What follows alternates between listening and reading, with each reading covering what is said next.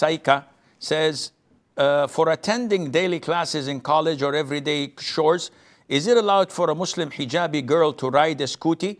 This is not permissible, in my opinion, because when you ride a motorcycle or a scooty or a bike, your figure as a woman is clear.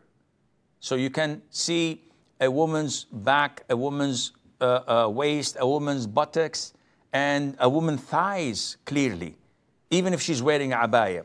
Not only that, it is extremely dangerous if she were to fall or to have an accident.